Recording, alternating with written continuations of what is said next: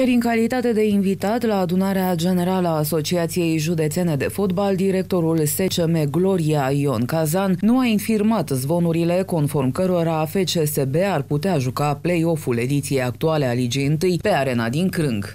Stadionul arată din ce în ce mai bine. Domnul Kazan vă poate spune dacă FCSB-ul va veni în play-off la Buzău. E aproape cert, dar până când vom perfecta documentele, nu vreau să Astfel, Gloria ar putea împărți arena din Crân cu trupa condusă de Argeș Vintilă, cel puțin pentru o perioadă de câteva luni. Asta în contextul în care elevii lui Ilie Stan se antrenează de obicei la Săhăteni pentru a proteja suprafața de joc din Crâng.